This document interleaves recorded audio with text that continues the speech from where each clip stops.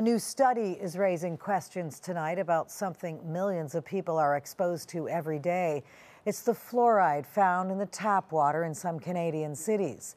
The research suggests pregnant women who drink fluoridated water could have children with slightly lower IQ scores. CTV's medical specialist Avis Favaro has that story.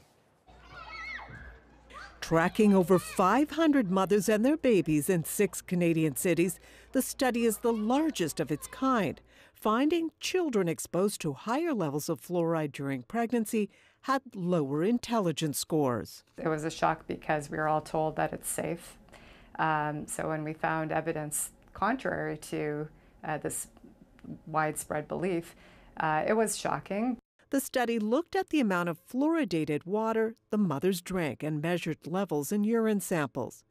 When researchers looked at their children at age three or four, they noted a 3.7 to 4.5 drop in IQ scores among the children exposed to higher levels of fluoride during pregnancy. It's comparable to what you would see uh, with lead exposure, and that's why we're so concerned. In the 1950s, fluoride was added to water and toothpaste in a bid to prevent cavities. About a third of Canadians now live in cities that still add fluoride. Toronto is one of them. Where Melanie Thompson had her three children, she finds the new results disturbing. I don't think it's ethical to continue fluoridating when there's any doubt at all that there may be a negative effect from the fluoridation. The Canadian Dental Association says it's reviewing the findings. In a statement, it's important to recognize this is one study with small sample sizes. And other scientists question the results. There may be a relationship between cognitive ability and fluoride intake.